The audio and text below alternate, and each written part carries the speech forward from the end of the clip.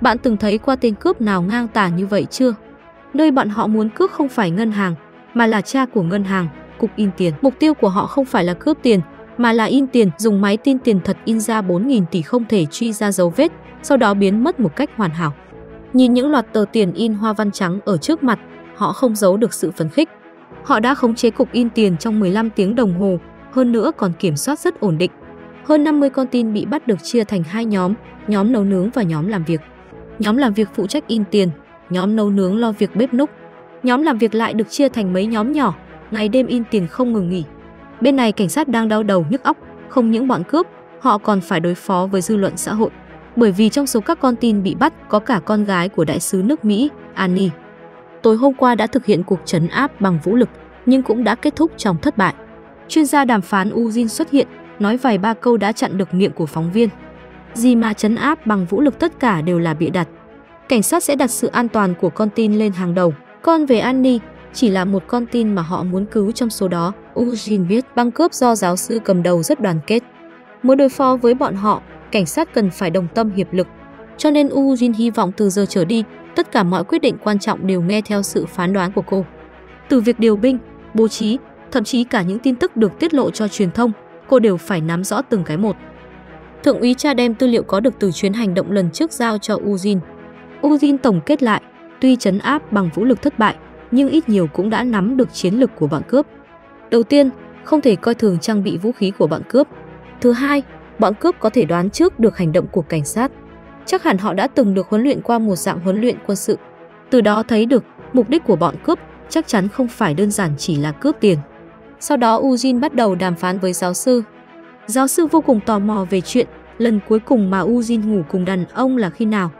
Anh cảm thấy càng bước vào thời điểm gấp rút như thế này thì càng nên tâm sự chuyện riêng với nhau, từ đó tạo ra được một sợi dây liên kết giữa đôi bên. Ujin không muốn trả lời, giáo sư đổi sang câu hỏi khác có từng giả vờ đặt cực khoái lần nào chưa. Lần này Ujin không hề né tránh, cô trả lời đã từng, nhưng không phải lần nào cũng như vậy. Giáo sư cho rằng như thế là lừa gạt đối phương, cũng giống như ba đội đặc binh đã đột nhập vào đêm hôm qua vậy. Ujin phản bác rằng họ mới chính là người bị lừa. Rõ ràng giáo sư đã cố ý để lộ ra chỉ có 4 tên cướp, còn bày ra trò giả vờ bắt cóc. Giáo sư nói rằng điều đó không quan trọng, quan trọng là bọn họ đã không trung thực với nhau. Cảnh cáo cảnh sát đừng cố gắng lừa gạt anh nữa, nếu không tất cả sẽ rơi vào nguy hiểm. Ujin hứa rằng từ bây giờ trở đi đều do cô chỉ huy, sẽ không có chuyện làm càn như vậy nữa. Nhưng giáo sư lại không tin cô, muốn cô trả lời câu hỏi khi nãy. Lần cuối cùng cô trải qua cực khoái là lúc nào? Đến khi nào U Vin trả lời được câu hỏi này hẳn liên lạc lại với anh. Thượng úy cảm thấy giáo sư là một tên điên, nhưng U Vin nào có nghĩ vậy, còn cho rằng giáo sư chính là một cao thủ đàm phán. Hắn không để lộ ra suy nghĩ của bản thân, loại đối thủ này mới là khó đối phó nhất.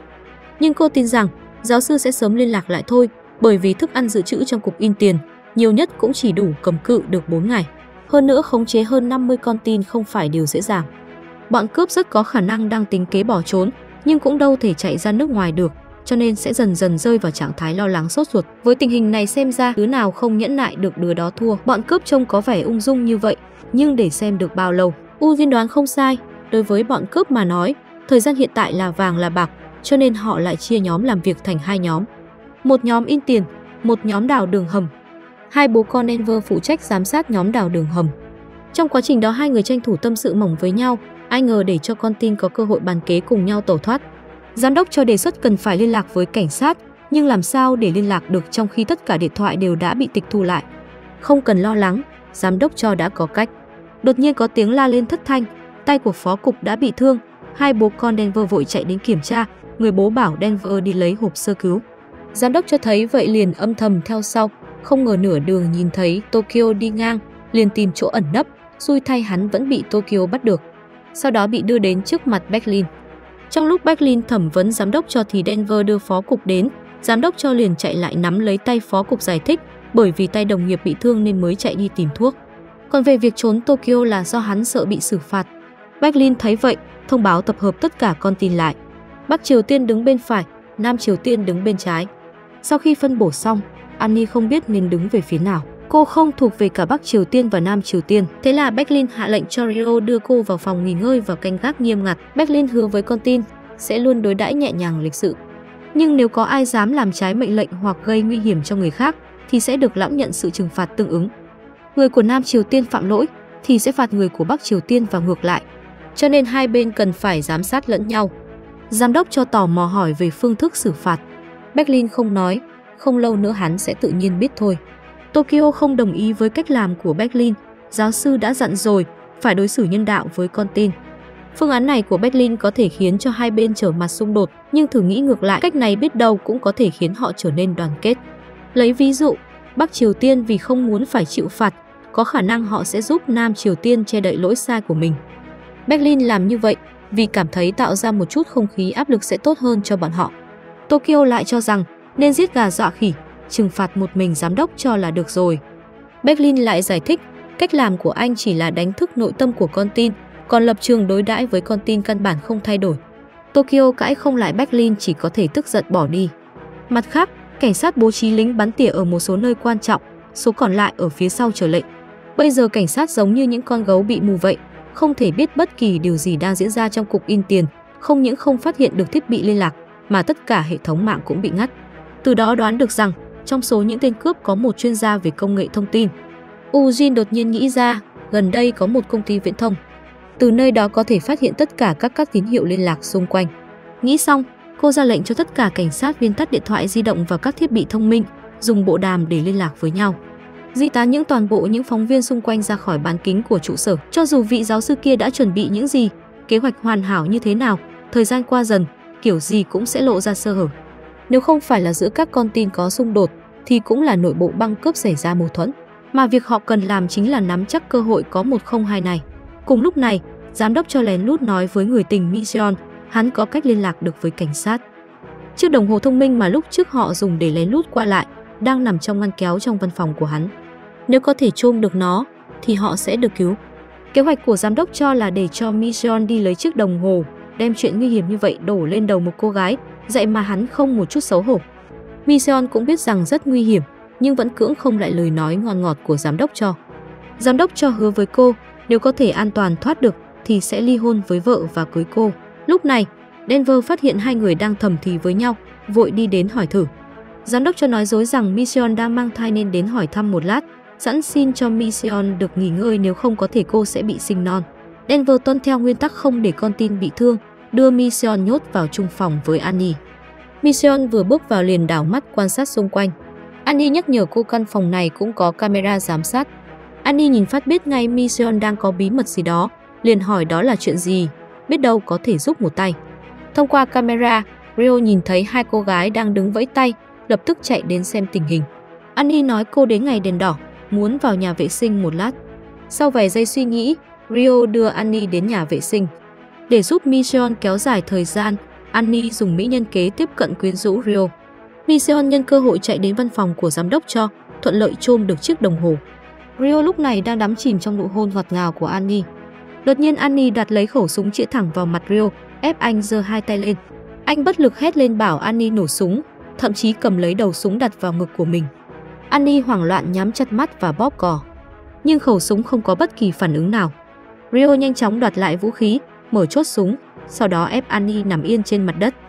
Lúc này, cảnh sát bất ngờ phát hiện tín hiệu, U Jin đoán rằng đó là tín hiệu của con tin. Thế là cô ra lệnh cho cấp dưới mở kênh. Ngay lúc Mission chuẩn bị báo cảnh sát, Denver đột nhiên xuất hiện. Mission giải thích rằng do cô quá đói bụng nên qua đây tìm thức ăn. Denver nghe vậy, đem toàn bộ thức ăn ở trong áo bỏ ra ngoài, hỏi Mission muốn ăn cái nào. Mission chọn lấy sữa bò. Denver tốt bụng thấy sữa bò hơi lạnh không tốt cho phụ nữ mang thai, nên quyết định đi lấy sữa bò ấm hơn. Denver vừa quay người đi, Mission lập tức mở chiếc đồng hồ ra. Cô chưa kịp gọi cho cảnh sát thì Denver đã quay trở lại. Mission chỉ có thể đóng chiếc đồng hồ lại giấu đi, nhưng hành động của cô đã khiến cho Denver nghi ngờ. Denver trực tiếp nắm lấy cổ tay của Mission. Bạn tưởng rằng Denver sẽ phát hiện ra chiếc đồng hồ thông minh sao? Rất tiếc, không hề. Anh ta lại nghĩ rằng giám đốc cho đã đánh Mission. Mission vội phủ nhận.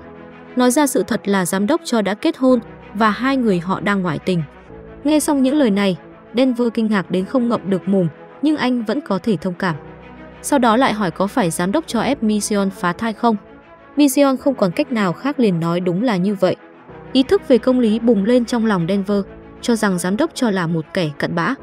Nói xong lôi Mission đi tìm giám đốc cho tính sổ.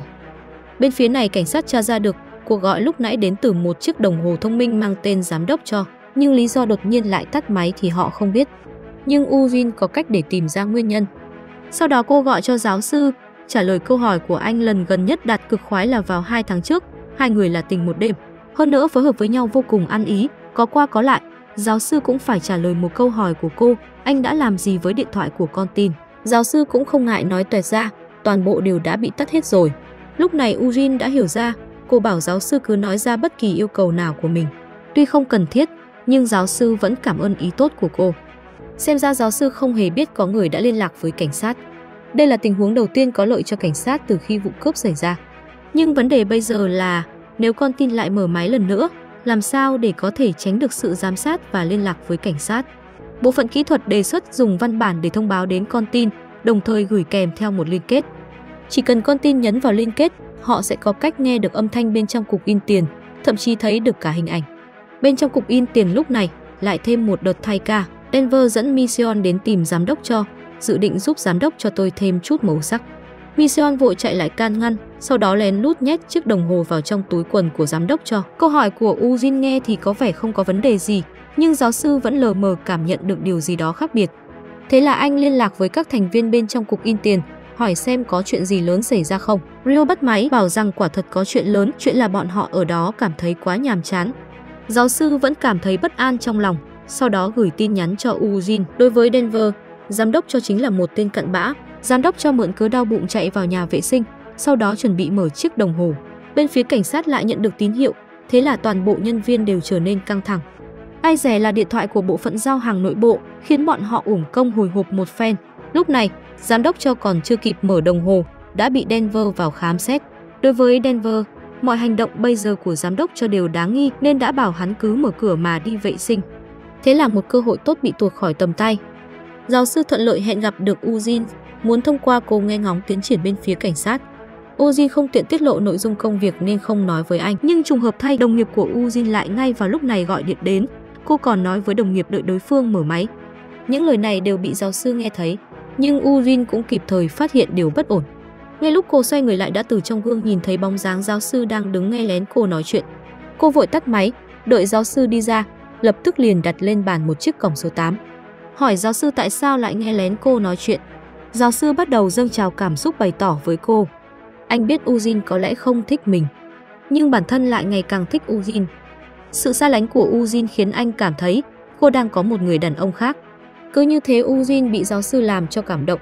Thật ra không phải cô không có chút cảm giác nào với giáo sư, mà với tình hình hiện tại, cô thấy không thích hợp để yêu đương. Quay về căn cứ, giáo sư lập tức liên lạc với Berlin. Trong số những con tin có người đã mang theo đồng hồ thông minh. Berlin lại tập hợp tất cả con tin lại, giám đốc cho nhân cơ hội mở đồng hồ nhấn vào liên kết. Cuối cùng cảnh sát cũng nghe được âm thanh bên trong cục in tiền. Ngay lúc này, Berlin gọi giám đốc cho bước đến. Giám đốc cho nhanh chóng nhét chiếc đồng hồ vào tay Mission. Berlin giao cho giám đốc cho một cái máy quét. Trong số những con tin ở đây có người đang cố gắng liên lạc với bên ngoài, nên muốn giám đốc cho phụ trách tìm ra người đó. Mission thấy vậy liền nhanh chóng cất chiếc đồng hồ vào trong áo. Giám đốc cho quét qua từng người, đến lượt Mission, quả nhiên phát ra âm thanh. Berlin kéo áo Mission, không ngờ là một sợi dây chuyền bằng kim loại. Trong lúc Berlin vừa quay người rời đi, thì chiếc đồng hồ từ trong túi quần của Mission rơi ra ngoài. Berlin quay trở lại, nhặt chiếc đồng hồ lên và ném xuống đất lần nữa. Sau đó dẫm nát chiếc đồng hồ trong cơn tức giận. Cơ hội duy nhất này của cảnh sát cứ thế biến mất. Trong lúc họ đang lúng túng không biết làm gì thì giáo sư gọi đến. Ujin giả vờ bình tĩnh. Giáo sư không thể kiên nhẫn thêm được nữa. Đã chốt kèo là tin tưởng lẫn nhau, cảnh sát lại chơi một vố như vậy, đàm phán không thể nào tiếp tục được nữa. Ujin cố gắng giải thích, việc dò thám tín hiệu là một bước trong quy trình được thực hiện theo quy định. Vì sợ hãi nên con tin có những hành động đột ngột như vậy là điều bình thường. Điều này thì giáo sư hiểu nên lần này anh không thèm tính toán. Nhưng nếu có chuyện tương tự lặp lại, anh sẽ lập tức chấm dứt đàm phán. Berlin nổi giận đùng đùng, hạ lệnh xử lý Mission. Rio và Denver đều không đồng ý, nhưng quyền chỉ huy đang nằm trong tay Berlin, cho dù bọn họ có phản đối cũng vô ích. Berlin giao nhiệm vụ khó khăn này cho Denver. Denver khuyên nhủ Berlin thêm lần nữa, nhưng kết quả vẫn như cũ. Denver bất đắc dĩ cầm lấy khẩu súng, lôi Mission đi trước mặt tất cả mọi người. Vào ngay lúc này, điện thoại reo lên là giáo sư gọi tới, nhưng Berlin không thèm để ý đến. Anh ta cho rằng có người đã sai khiến Mission. Phó cục giơ tay phát biểu là giám đốc cho sai khiến, không liên quan đến Mission. Giám đốc cho vội vàng biện minh, nói rằng không phải lỗi của ông ta, hơn nữa trước giờ Mission không hề mang thai. Nói xong quỳ xuống đất xin Berlin tha mạng. Cùng lúc này, Denver đang đứng cùng Mission, anh muốn biết rằng rốt cuộc thì cô có mang thai hay không. Tuy Seon không nói lời nào, nhưng biểu hiện trên gương mặt cô đã cho Denver biết rằng anh đã bị lừa. Anh ta vô cùng tức giận, chĩa súng thẳng vào Mission và bóp cò. Tiếng súng mổ vang khắp tòa nhà. Tất cả con tin bị dọa cho hoảng sợ, nhất là giám đốc cho. Berlin đột nhiên ôm chầm lấy giám đốc cho một cách chiều mến. Anh biết tất cả những chuyện này đều do chủ ý của hắn, nhưng anh sẽ không trừng phạt giám đốc cho, mà sẽ trừng phạt những người bên cạnh hắn. Lúc này, giáo sư không liên lạc được với thành viên bên trong cục in tiền, trong lòng có cảm giác không lành. Tập hôm nay đến đây là hết mất rồi. Cảm ơn các bạn đã theo dõi. Còn giờ thì xin chào và hẹn gặp lại.